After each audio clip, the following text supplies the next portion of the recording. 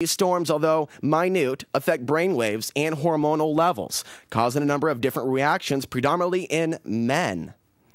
While a few women may also experience changes during these storms, they generally seem less affected by the sun's behavior.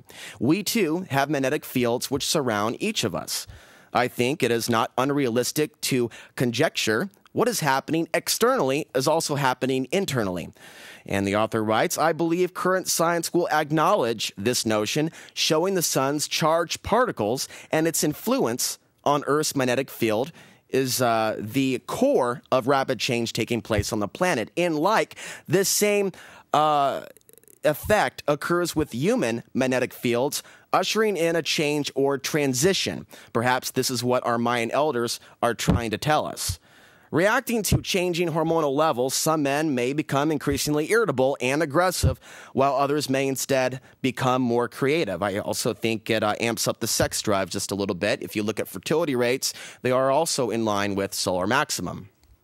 An increase in solar activity is found to increase psychotic episodes in individuals who already suffer from unstable psychological states. While we may relate such behavior to a full moon in 1963, Dr. Robert Becker and his colleague, Dr. Friedman, demonstrated that solar changes can also lead to noticeable increases in psychotic activity. Now, Bill, let's bring up some of those graphics showing the sunspot cycles. There's a whole bunch of pictures that we're going to show you at this point in time to get you to understand the data. Hopefully, you will be able to also yourself see the patterns. When we see lots of energy, solar activity, we also see certain wars taking place on the planet the Revolutionary War, the Civil War, the Vietnam War, and also the late 60s and all the creativity going on. Solar maximum. The first time that the United States went into the Gulf, it only took a couple days, 1991, solar maximum. Take a look at the graphics on the screen, and you can see what was taking place in the uh, late 1990s. 9 11 and the war on terror, so called war on terror. This current war that is not ending anytime soon. In fact, it's actually going to expand, and we'll get into that a little bit later in the broadcast. We'll talk about China. But you also see massive solar activity taking place in 2001, 2002, and 2003. In 2003, there was a power outage in New York City and Canada, and uh, that was caused by a Class X solar flare, CME. We will now continue with this report. Yet these reactions are not simply isolated to a few particularly sensitive or unlucky individuals. Evidence indicates that wars and international conflicts most often break out when sunspots are rapidly forming or rapidly decaying, as these are times when there are more intense geomagnetic storms. There's also another report that I encourage all of you to Google and research. Uh, this particular study that looks at deeper states of dreaming, lucid dreaming, being tied to geomagnetic storms, the magnetic field fluctuations actually having an impact on the fluid in our brain. In addition, this increase in solar activity also correlates to periods of more accidents and illness, as well as an increase of crimes and murders. The entire biosphere is affected by this electromagnetic pollution, and human behavior seems to react accordingly. Now, this is some of the early data the early research that was done on uh, the possibility of sunspots, solar activity being linked to human behavior.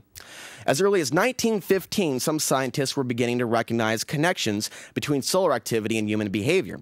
This work began with Russian scientist Alexander Chvivsky. I've never been good with Russian last names. Who observed that mass changes in human behavior correlated to sunspot cycles. In the 1930s, Professor Raymond Wheeler, a historian at the University of Kansas, took this observation one step further. His research afforded numerical rankings to the severity of individual battles correlating to solar cycles. His data was statistically analyzed by Edward Dewey, who validated the existence of these war cycles, yet he was unable to make a definite connection with sunspot cycles because the data at that time was insufficient. In the 80s, with a more detailed analysis of Wheeler's data, the connection became clear. Upon close examination of the data, a pattern begins to emerge wherein wars are most likely to start in key points of the sunspot cycle. This is when the geomagnetic activity is changing most rapidly on the upsurge of solar activity or the downward part of the cycle when sunspots are rapidly diminishing. In addition, we can also see how this affects psychological uh, mechanisms such as altered brain rhythms and abnormal hormonal levels. In other words, wars are kind of a mass psychosis. War fever is real. With this in mind, should we view warring behavior as a type of disease? Are the related socio political or economic factors as much of a symptom of solar cycles as the battles they appear to create? And if the data on this sunspot on the sunspot cycles points to a impending crisis, how can we best use this knowledge? When we see the connection to physical uh, mechanisms, electromagnetic pollution, this gives us some predictive insight for when increased aggressions are likely to start. Calculations indicate that we're due to see another rise in solar activity, intense solar activity, in about two years, September 22nd, 2010. This was written two years ago. So the sun has been going through a extended solar minimum for some time. Now we're seeing more activity. Scientists are baffled. Fluctuations in the magnetic field, magnetic north moving in the direction of Russia away from Canada, and strange changes to the thermosphere. And these are just names that are being given to what man is trying to understand. It's no mystery that scientists are baffled.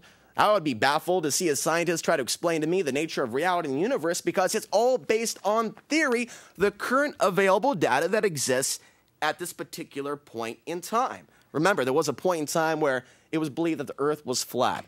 Now, with science, now with satellites, uh, like the uh, particular uh, satellites that NASA is u- using. Not that we can trust everything that's coming out of NASA. They were founded allegedly by Nazis, rocket propulsion scientists that worked for Hitler. The question is, how do we verify, double, triple, quadruple, verify the facts and data outside of NASA? enter the European Space Agency. So, all across the planet, we're seeing similar pieces of data outside of NASA being released to the public. Report goes on, as with any disease, if we are aware of the cause, we can take precautions to lessen the symptoms. In past writings on the subject, I have suggested that global meditation might be one tactic for steering this aggressive cycle another way. More information is available at buryl.com. B U R, or B, yeah, B U R Y L.com. Imagine how valuable it would be to mankind or even a individual if we were able to address a potentially volatile situation by carefully studying the pattern of history. How would this influence our decisions and actions and how might this change our fate? Now, some of that stuff seems a little negative. Oh, agitation, male aggression, war. There's also consciousness, spikes in new ideas, new understandings, a different energy on the planet. We are affected by the charged particles. You, some of you, are affected this week from the changes going on on our planet. Some of you have written me your dreams. Some of them are very, very apocalyptic, more apocalyptic dreams. It's so strange how I'm in so many people's dreams.